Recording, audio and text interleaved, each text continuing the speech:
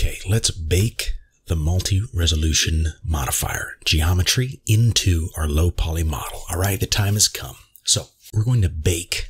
We're going to take all that extra geometry from the multi-resolution modifier and we're essentially going to burn all that geometry into a normal map.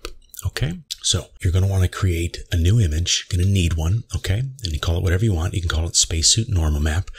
Um, if you want to make this 4K, go ahead. I'm going to make this 2K. So you can either type in 2048 or just do the, the 1026 times two.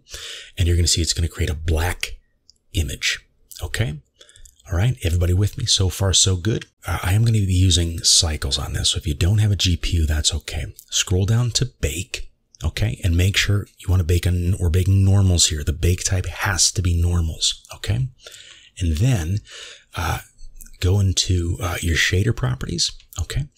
And we're gonna, we're gonna play around with these a little bit. So search for an image texture. All right. And, and then, uh, find the image that we just made. Okay. That spacesuit normal map. Select that one. Uh, and then once you've had that, you don't even need to connect the, the normal map the image texture to anything. It just needs to be in the shader and then click bake.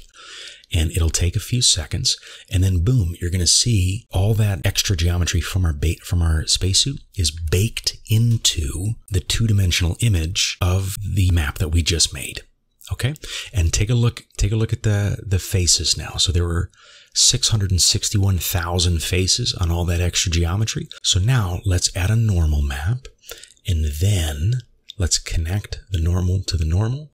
All right, purple to purple, yellow to yellow. And then once you do that, give it a color. You can make it any color you want to. I'm, I'm going to make mine, you know, kind of a, a light gray. And then once you have that, apply it.